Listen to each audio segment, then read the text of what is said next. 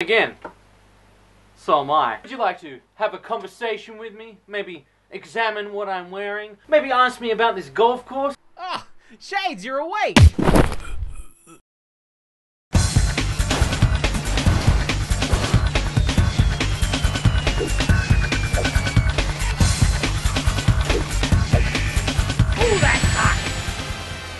Glory to that kind. Welcome back to Dat Game, the show we take a look at video games with sexy, sexy couples. I'm Shades, and today we gotta get to some of the sexy games that I missed while I was in a coma because they've been piling up on my desk, and I, I, it's out of control. It's out of fucking control, and I can. There's only so much cleaner I can use on my desk before it turns into that soggy cereal that sits in your cereal bowl when you leave it in there five seconds too long. I have a fapping problem. A game I've been waiting for for a while now is Super Kinky. A game described as brutal, bloody, and balls to the walls, with hmm. endless hordes of monsters. There's skeletons holding dildos, an ass blaster bike you can ride, and not a moment given where there isn't something sex related on the screen. Dildos and vibrators for weapons. Ha! I'm covered. Ho ho ho ho!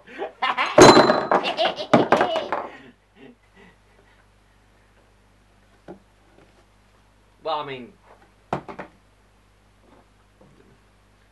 I mean, they're not all mine. I mean, most of these are Terry's. The last time we really dived into anything first person sexy was Zombia, and I had a fun time with that. I expect this game will also not take itself too seriously. They also made a game called Realm of the Flesh, with some tits, ass, and zombie gameplay, but it seems that this was the better child of their creations. Booting up the game, we're presented with a girl laughing at the company logo. Fuck me. The amount of censoring I'm gonna have to do in this episode alone. Seriously, if a hundred of you just pledged a dollar, I could make this my living. I mean, I could I could put out more uncensored reviews. Seems like I'm shilling, doesn't it? Well, I am. Because I'm a whore.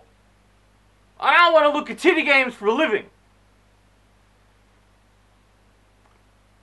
a blood filled river, a wanking skeleton, and a demon with his cock out. It's got the makings of a story you can tell at the Sunday church. Straight away, this game looks fucking schmick.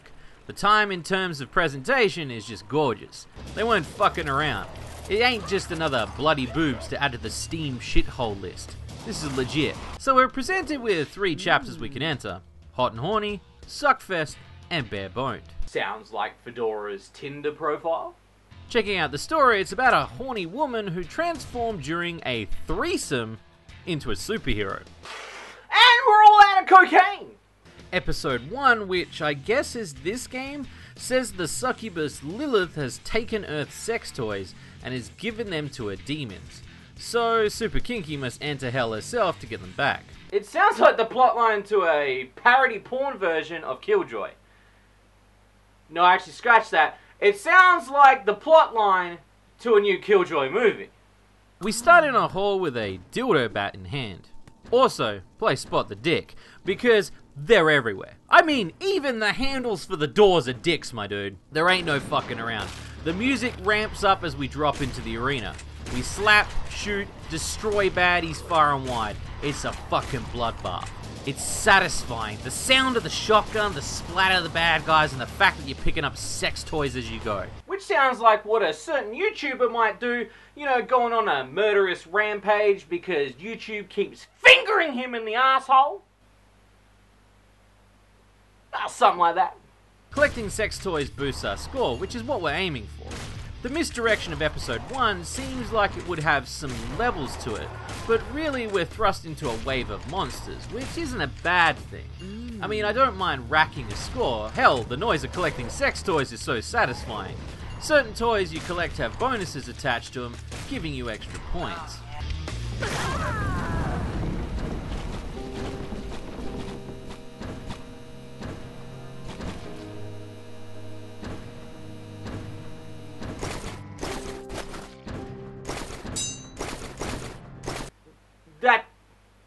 That's, um.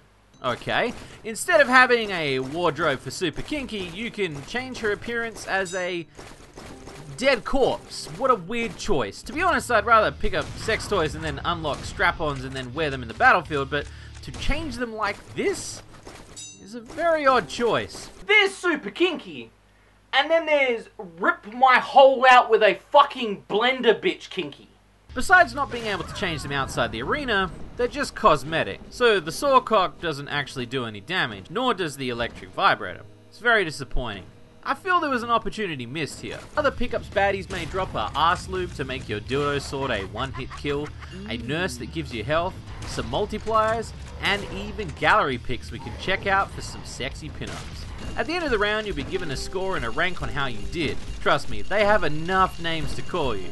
I've played this a lot, and so far, I haven't seen a repeat as of yet. So if you like being degraded even more while playing sexy video games, Super Kinky's got you covered.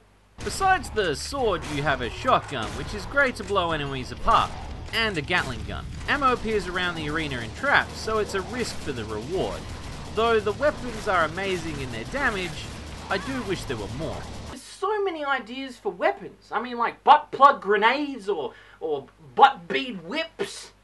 Such a missed opportunity. Ah. Next up is Suckfest. Let's check this out. Hey, look at that! It's the fuck bike. You know, that's that, they show that on the Steam page. It's like a main cell. No, you don't get to ride it. It stares at you with a fuck you. There could have been a bike arena with some on wheels gore action and pleasure you as you ride. But no, fuck my ass. You leave the best part of the game outside. You see, as much as I love Super Kinky's presentation, there are times where I feel like it fucks me in the ass. And I'd like to be taken on a date first. The Suckfest arena gives us some suck to fight, which does add to the mix of a smaller, cramped room. The third level is That's neither sexy or metal as fuck. Just makes me concerned for anybody that's pissing out their dick. This level adds some objects in the middle to really mess with the dynamic I've adopted, the merry-go-round technique. Strafing around the arena, blasting fuckers and collecting points. Here it's much harder though. There seems to be some places to. E-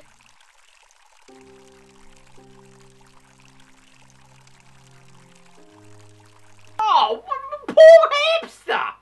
I mean, what a way to go! Shit covered and then shish kebabbed. You gotta hand it to them. Each death has a slight way of creativity in terms of inserted items into one's anus. That's actually the name of my TED talk I'll be doing next year. Because I'm full of knowledge. And I've seen some shit. Okay, so unlocking the mags. You get some tasty pinups, which I assume it's girls they've asked to be in the game. And they're very high quality, so if you're into pinups, this might be a jam. Though every cover is just an image replace, so the effort doesn't go all the way when it comes to this comedic slaughter sex romp.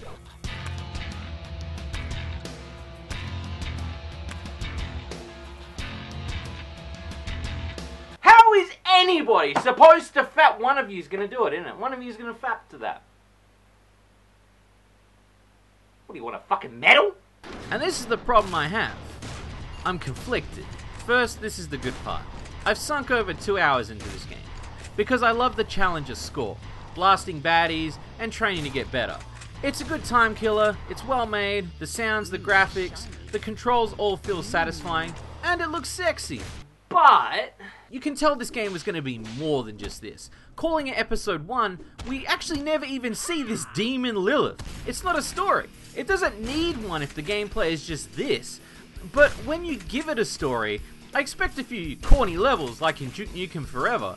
Maybe more than just three arenas. Some small buildings to walk through. I mean, how do we even get to hell? Where's the pause menu? The options menu? You can't even bind a controller without a mapping program. I want to ride the bike. That's the selling point. I want strap-ons to be buffs for the character. And there's no achievements. Yeah, that's right. They were going to put achievements in, but they said that the engine doesn't support it. Meaning Unity. This game feels like part of a greater product. You're so close to being a fuck parody of Duke Nukem or Doom, but it falls short with missed opportunities everywhere. So if you buy it, don't expect much more than a shoot fest of three arenas. Though in that regard, for what it does have, it's fun and challenging and well made. Thus why I'm conflicted. I'm still drilling hours into the game, but just to rank my score. I like to think the devs will look at the mixed reviews and rethink the strategy to relaunch the game in a more finished state though. So, to sum up Super Kinky, it's kind of like massaging your prostate. You know, it's really difficult, you know, like it's, fairly messy, there's a lot of prep. You're not going to get it right on your first time, you know. It, it, it's uncomfortable, but the end result, you can't. oh, it's good. But wouldn't you rather someone else fuck you? Because it would feel so much better. What I'm saying is that the game should be bigger and better, and it should be. I'm Shades, and remember, you get what you paid for. I'm gonna take one of these dildos, and I'm gonna shove it into Dave's eye socket. How long have I been in a coma?